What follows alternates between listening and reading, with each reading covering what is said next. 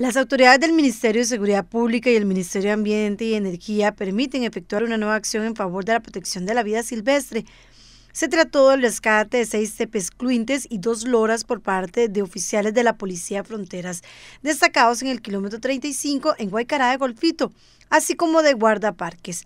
Dichas autoridades recibieron una denuncia sobre varios animales silvestres que estaban siendo maltratados en una finca ubicada en el sector de Lagarto también en Golfito. En zona sur, los compañeros de Policía de Fronteras reciben una alerta por parte de los compañeros de SINAC.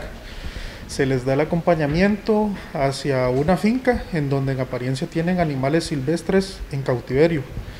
Al llegar al lugar, en uno de los lugares se logran observar dos loras que no deberían estar ahí.